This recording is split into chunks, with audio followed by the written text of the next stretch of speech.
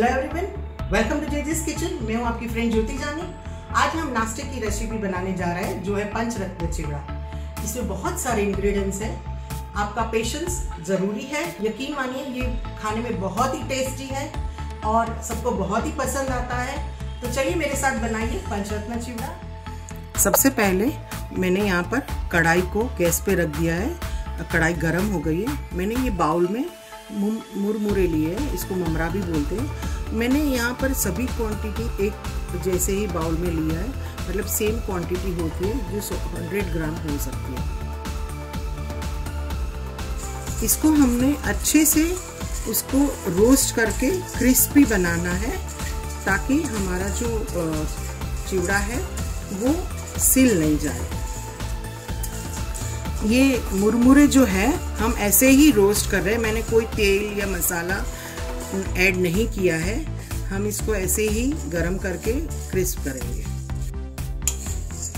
ये देखिए, मुरमुरे को चलाते हुए मुझे दो से तीन मिनट हो है मैं आपको बताती हूँ ये कैसे क्रिस्पी होने चाहिए। ये देखिए, इसको हम अगर तोड़ते हैं तो अच्छे से इसकी आवाज़ आती है। अब ये रोस्ट हो गया है, मैं इसे एक बर्तन में एक निकाल दूँगी। मैंने यहाँ पर एक बाउल तकरीबन 100 ग्राम नायलॉन पौवा लिए जो हम चिवड़ा बनाने के लिए हमेशा यूज़ करते इसको पतले पौवे भी बोलते हैं। नायलॉन पौवा की रेसिपी अभी आप अपने स्क्रीन पे लिंक देख सकते हैं और डिस्क्रिप्शन बॉक्स में भी हमने लिंक डाल दी है, जो सिर्फ़ नायलॉन पौवा का ही मेथड बताया है।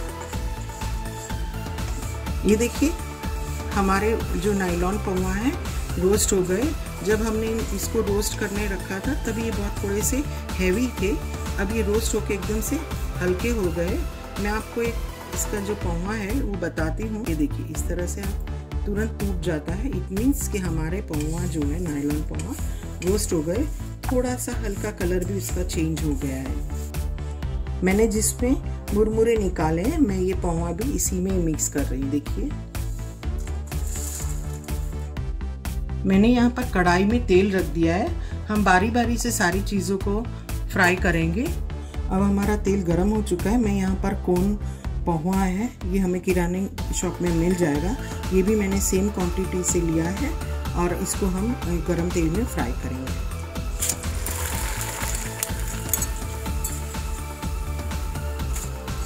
पौहा और नायलॉन पौहा और मुरमुरे जो ये है उसी में ही मैं मिला रही हूँ।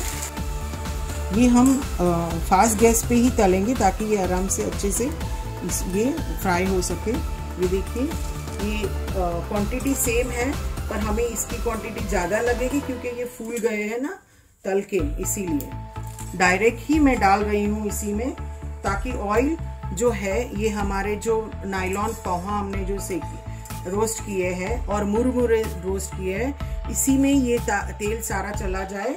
और उसमें मसाला हम अच्छे से कर सकें। ये जो हमने तले बहुत फूल गए तो मैं थोड़ा इसको इस तरह से हम छोटा कर लेंगे, इसको तोड़ देंगे ताकि ये ममरा और पोहे की साइज़ के हो जाए।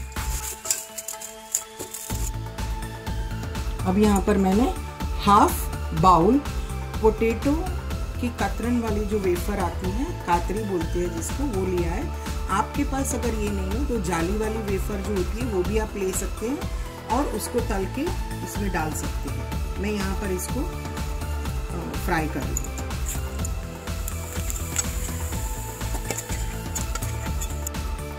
यहाँ पर मैंने एक बाउल मोटे पौ, मोटे पौवा लिए जो हम आलू पौवा बटाटा पौवा में जो यूज़ करते हैं इसको हम तलेंगे।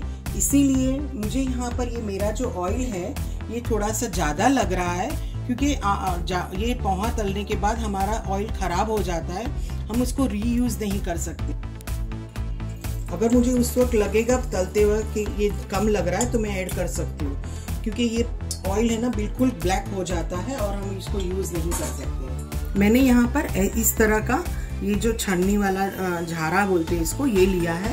ये हमेशा मोटे पौवा जो हम यूज़ करते हैं चिवड़ा बनाते हैं उसमें यूज़ होता है। अगर आपके पास है तो आप इजीली बना सकते हैं। ये देखिए, इस तरह से फास्ट गैस पे हमें ये रखना है ताकि ये जो ऑयल है, इसी में अपनी जो पवा है, वो तल सके। देखिए, इसको हमेशा फास्ट गैस पे रखना होता है। देखिए, इसको मैं निकाल के उसी में ही मिक्स करूँगी।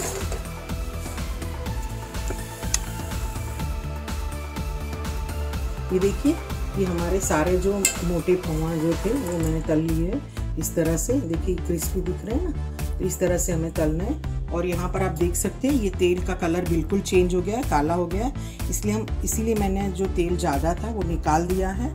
और ये तेल को हम रीयूज़ नहीं कर सकते। ये देखिए, हमारा तलने का और रोस्ट होने का सारा प्रोसेस हो गया हमारे सारे पौवा जो है, हमने रेडी कर दिए मैं एक बार इसको स्टोर कर दूँ। देखिए, आप देख सकते हैं, हम, हमारे मुरमुरे हैं। हमने जो रोस्ट के नाइलॉन पौवा वेफर मकाई पौवा और मोटे पौवा सभी कुछ बहुत ही प्यारा लग रहा है। मैंने क्वांटिटी एक ही एक एक बाउले लिए, पर फिर भी बहुत अच्छी क्वांटिटी में बना है तो आप भी इसको इसी तरह से मेज़रमेंट लेके कर सकते ये सूखा कोकोनट है, इस तरह से आपको पंसारी की दुकान, किराने वाले के यहाँ मिल जाता है। मैंने इसका इस तरह से पीसीस कर दिए हैं कि इसको फ्राई कर सकते ये मैंने यहाँ पर एक कढ़ाई रखी है। कढ़ाई में मैं ये ऑयल डाल रही हूँ। ये जो ऑयल मैंने ज़्यादा था और तलते हुए पहले निकाल दिया था, वही मैं ऑयल इसमें ऐड करूँगी। यहाँ पर हमारा ऑयल गर्म हो चुका है। मैं सबसे पहले यहाँ पर करी लीव्स के जो पत्ते हैं, ये डाल दूँगी। ये ऑप्शनल है, अगर आपको नहीं पसंद है या नहीं डालना है तो पर इसका जो फ्लेवर है, वो बहुत ही बढ़िया आता है इसमें। इसी टाइम में मैंने यहाँ पर 50 ग्राम जितने छोटे बाउल में पीनट्स लिए आप क्वांटिटी कम या ज़्यादा कर सकते हो अपने हिसाब से। इसको हम अच्छी तरह से ऑयल में रोस्ट करेंगे। ये शिंगदाना हमारे थोड़े से रोस्ट हो चुके हैं। देखिए इसका कलर चेंज हो चुका है। अब मैं यहाँ पर ये चने की दाल जो है, जिसको दालिया बोलते हैं रोस्टेड ये हम डालेंगे इसमें। ये भी 50 ग्राम जितनी क्वांटिटी है, आप कम या ज़्यादा कर सकते हैं। मैंने ये 20 से 25 ग्राम जितने काजू के पीसेस लिए टुकड़े हैं ये भी मैं ऐड कर रही हूँ। ये सारी चीज़ों को हम अच्छे से रोस्ट करेंगे ताकि इस, इसका जो क्रिस्पीपन है वो आ जाए और हम चिवड़ा में डालें तो बहुत ही बढ़िया टेस्ट मिले हमें। ये जो कोकोनट के पीसेस किए वो भी मैं इसी स्टेज पे डाल दूँगी और इसको भी हम अच्छी तरह से रोस्ट करेंगे। ये देखिए, हमारी सारी चीज़ें अच्छे से रोस्ट हो गई है। मैंने जिस ऑर्डर में ये सारी चीज़ें डाली है, अगर आप उसी तरह से करोगे तो अच्छा रिज़ल्ट मिलेगा, क्योंकि हमारे यहाँ जो पीनट्स है, इसको रोस्ट होने में थोड़ा टाइम लगता है, पर ये काजू और दालिया जो है, उसको ज़्यादा वक्त नहीं लगता है, जल्दी से रोस्ट हो जाते हैं। और ये जो कोकोनट है, वो भी बहुत टाइम तक अगर हम रखेंगे तो लाल हो जाता है, इसीलिए मैंने इसको बाद में डाला है। तो आप उसी तरह से मिलाइएगा ये। देखिए, ये सारी चीज़ें रोस्ट हो गई है। मैं इसमें इसी स्टेज पे एक टेबल स्पून ये हल्दी पाउडर डालूँगी।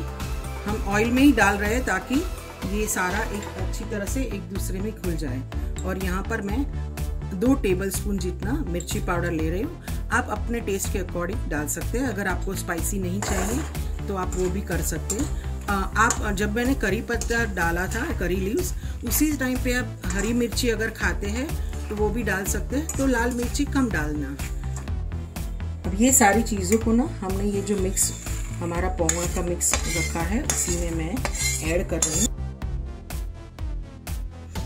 हम ये सारी चीज़ों को गैस में धीमी आँच पे रख के इसको रोस्ट करेंगे, ताकि हमने जो मसाला ऊपर से किया है, वो अच्छे से मिल जाए।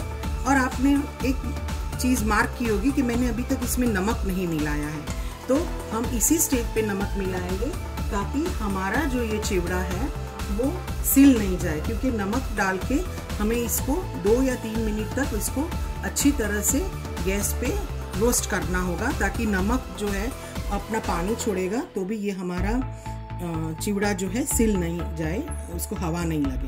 ये देखिए, यहाँ पर मैं एक टीस्पून जितना नमक डाल रही हूँ, एक टीस्पून से थोड़ा ज़्यादा, क्योंकि क्वांटिटी उसी हिसाब से। कि ये नमक डाल दिया है तो मैं इसको अच्छे से मिला लूँगी। और गरम में डाल रहे हैं, इसीलिए इसको दो से तीन मिनट हमें गैस पे रोस्ट करना पड़ेगा। नहीं तो उसका नमक पानी अगर छोड़ेगा गरम में तो वो सिल जाएगा। और मेरा ये बर्तन थोड़ा सा पतला है। आपको मोटा बर्तन ही लेना है। पतला हो तो मेरी तरह आप इसलिए जो मैंने रोटी बनाने की जो तवी है, वो मैंने रखी है तो आप उसी, ऐसे भी कर सकते हैं। तो ये देखिए, हम दो से तीन मिनट तक इसको अच्छे से रोस्ट करके मसाले इसमें मिक्स करते रहेंगे। ये देखिए, कितना प्यारा लग रहा है। हमने कितने सारे इंग्रेडिएंट्स डाले हैं इसमें। आप देख सकते हैं, देखिए ऑयल भी हमारा ज़्यादा नहीं है। और एक बात यहाँ पर मैं शेयर करूँगी, अगर आपको इसमें चीनी डालनी है, पीसी हुई चीनी तो ये चिवड़ा थोड़ा सा ठंडा हो जाए, यानी कि थोड़ा सा लुकवॉम जैसा हो, उसी स्टेज पे आप चीनी मिलाएँगे ताकि आपको थोड़ा सा मीठा भी टेस्ट आए। अगर आपको मीठा पसंद है तो नहीं तो आप अवॉइड कर सकते हैं। ये देखिए, हमारा पंचरत्न चिवड़ा तैयार है। लग रहा है ना मज़ेदार? आप इसको ज़रूर ट्राई कीजिएगा ये चाय के साथ या नाश्ते में या ऐसे ही आप इसको खा सकते हैं। और अगर आप इसको कहीं बाहर जा रहे हैं और ये बना के ले जाएँगे तो आठ से दस दिन आराम से रहेगा और आप इसका मज़ा ले सकते हो। अगर आपको मेरी रेसिपी पसंद आई हो तो लाइक शेयर सब्सक्राइब ज़रूर कीजिएगा और आपको कैसा लगा, आप कमेंट बॉक्स में ज़रूर लिखना। Thank you